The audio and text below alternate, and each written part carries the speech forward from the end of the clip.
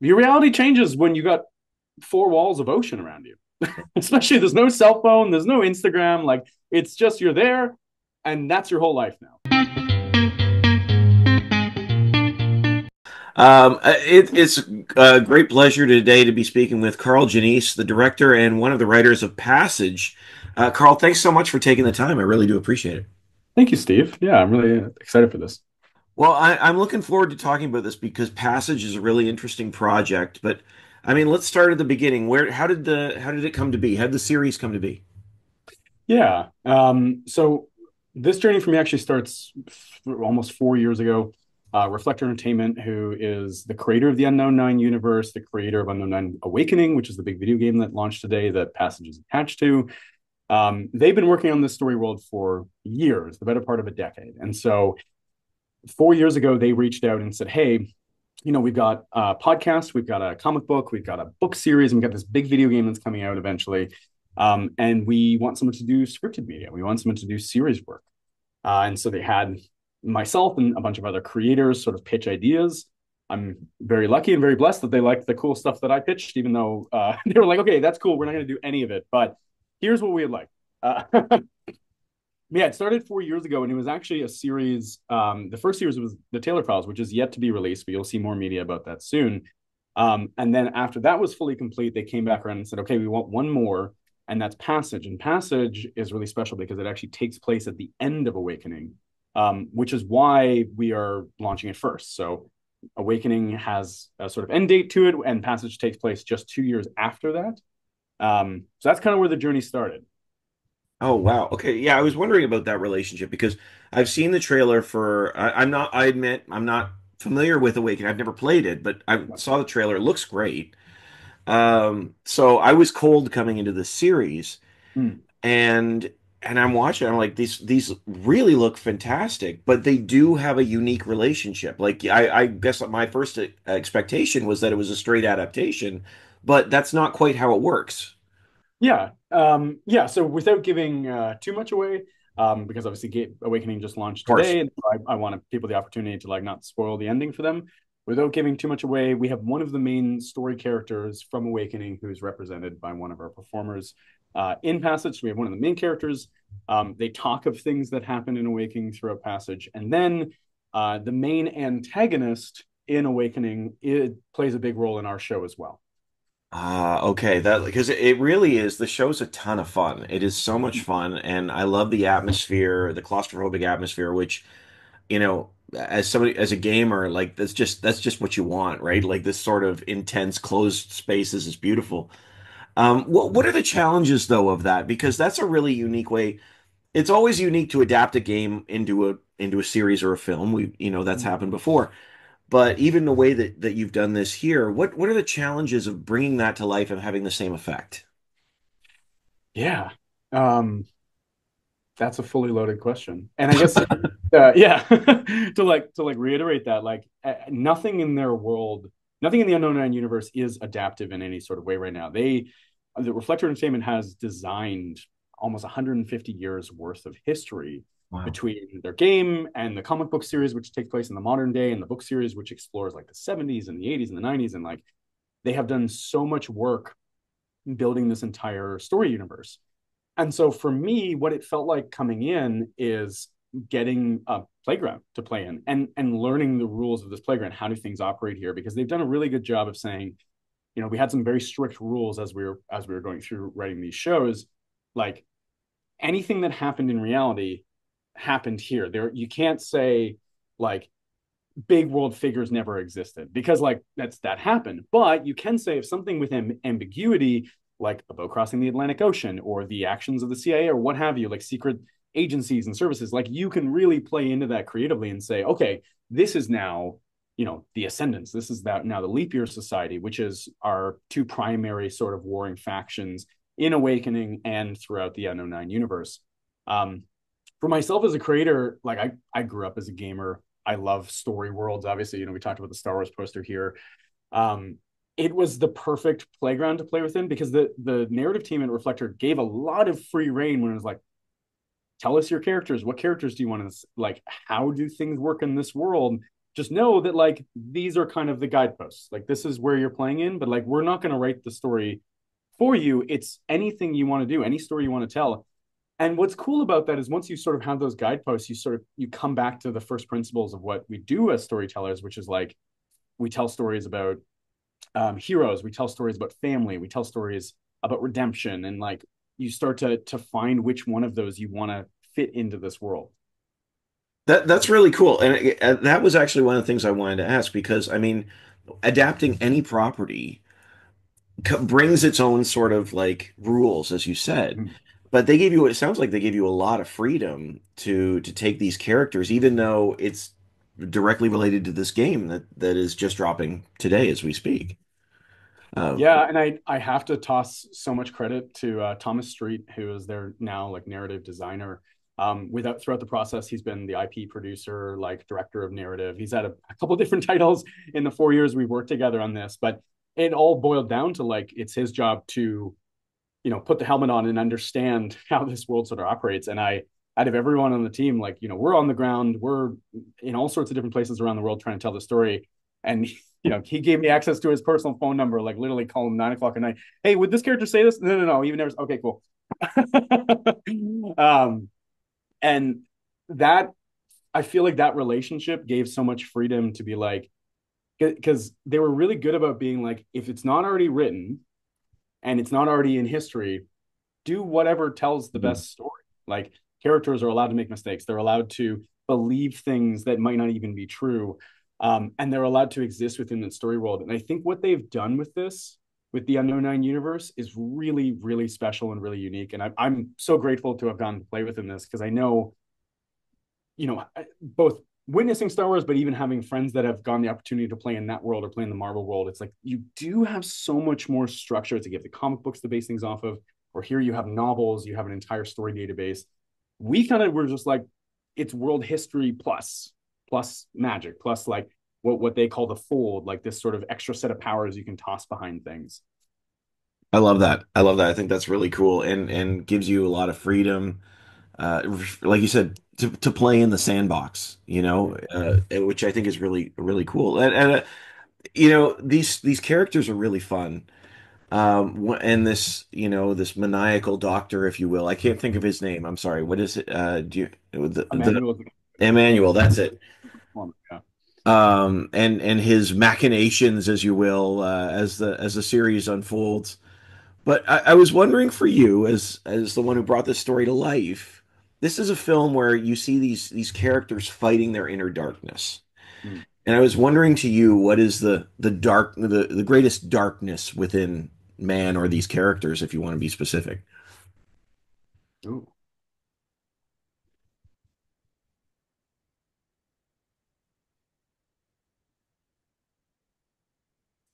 Um, that's a very important question. Um, because I think, you know, we as storytellers, we do this work because we are here trying to mirror life. You know, I've always ever since I was 17, getting into film, I, I've seen it that way. It's like film and TV is this sort of twisted mirror that we turn on ourselves to learn about who we are um, and who we can be and who we were.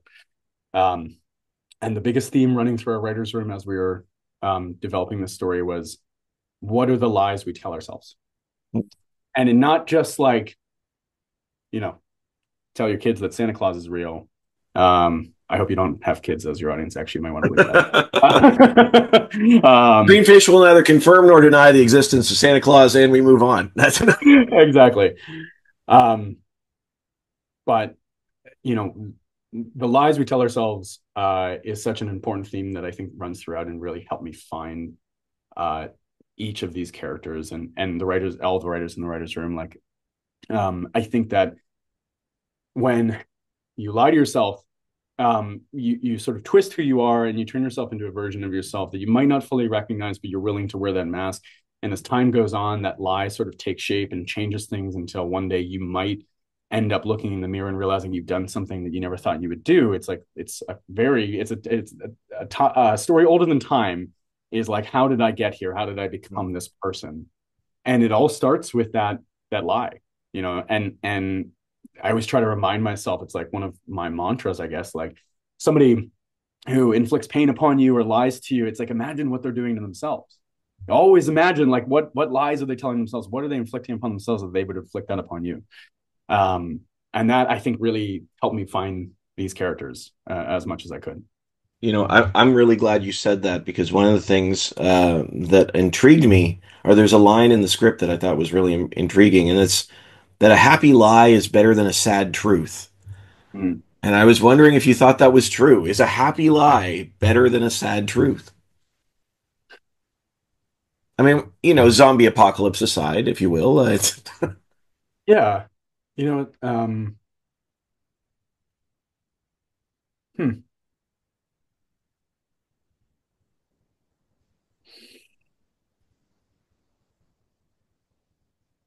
I think it depends on who you who you want to be. Um, I, you know, I guess I always sort of come back to that. It's like, um, if living a lie, you know, you get from point A to point B, you get from zero to 80, you get to the end of your life and you're happy, then yeah, it's you kind of get to decide how you spend your time here.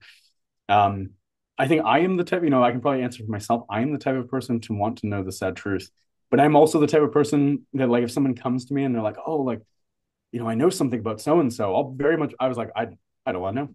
Hmm. You know, blissful ignorance. I'm like, I ignorance is blissful in a lot of ways, especially when it's something that doesn't fully impact you. Um, but I would say for myself as a human being, um, I I will always sort of choose uh, the sad truth. Yeah, that's me though. well, and it, you know, like you said, this this relationship between truth and lies is is so big within this series, and amidst all the the fun and the delusions and the you know the swapping of uh, memories and visions and all these things, there's this sort of question of do you want to know? Mhm.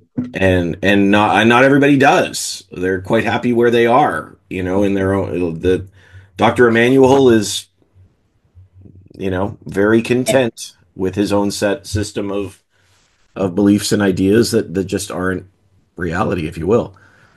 And Uh, and that's um. can- do you mind if I build off that not, second? not at all. Go ahead, please.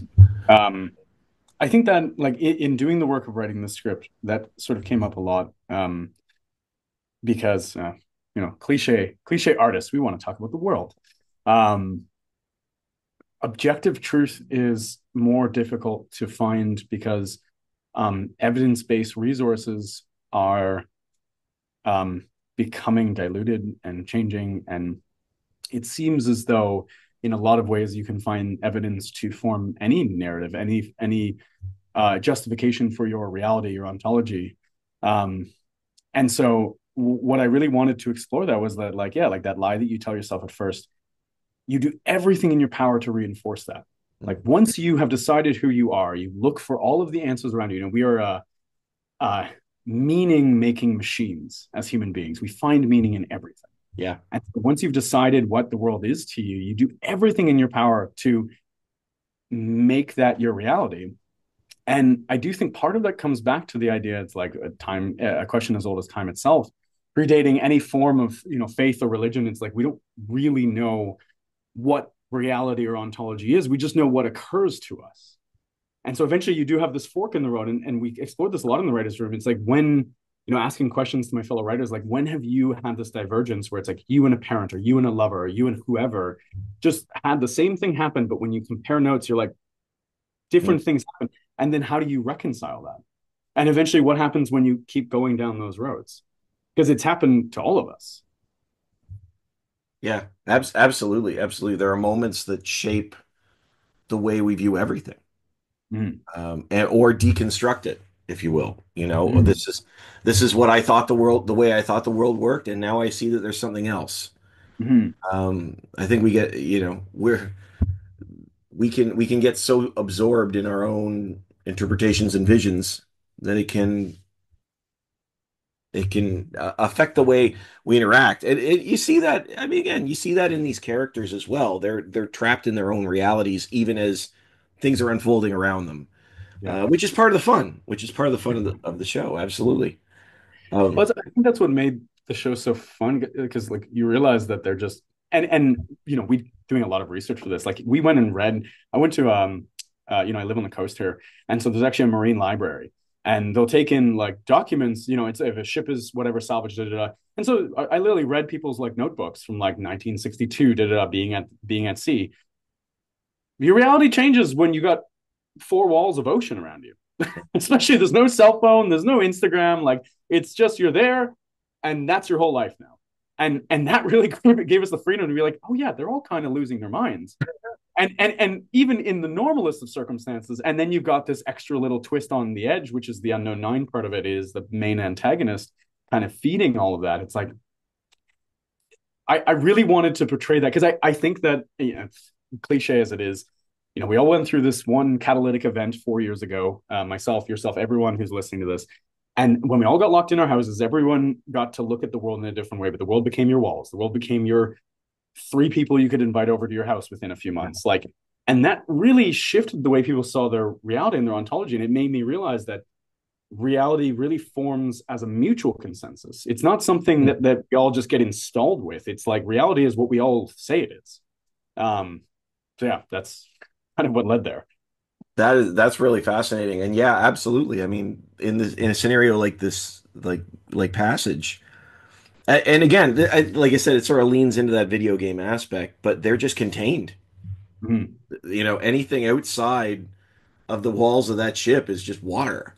So it, yeah, it, there's a certain sort of psychological breakdown that's taking place within these characters, while there's more happening with these characters, of course. Um, honestly, Karl, I we're starting to run out of time. It, it's it's fantastic. I, I, I really appreciate the chance to chat with you.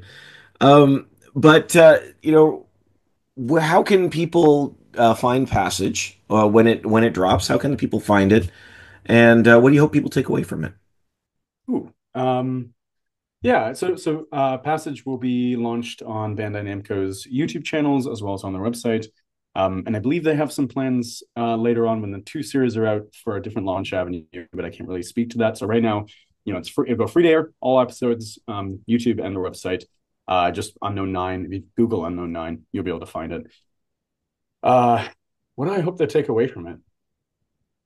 I hope you guys have a good time. I don't know. Um, truly, yeah. I, I like you know I can sort of espouse all this uh, philosophy. This is my my journey on this world. Um, but I think that's the fun job we have as storytellers is like you get to sort of interject this, like, well, here's one way of looking at the world or one sort of way to question things. But at the end of the day, I, I hope it's a really enjoyable experience. I hope you love the characters. Um, you know, my performers worked tirelessly to bring them to life, and I have to give all the credit to them because they were just names on a page until we cast them, until our, our casting director found these incredible human beings. Um, so yeah, I hope you fall in love with these characters, and maybe if you fall enough hard, hard enough, they'll get to come back. uh, honestly, I hope we do. I hope we do. Yeah. Uh, Karl, thank you so much for your time. I really appreciate it, and I wish you the best. Have a great day. Thank you so much, Steve. It was great. Thank you.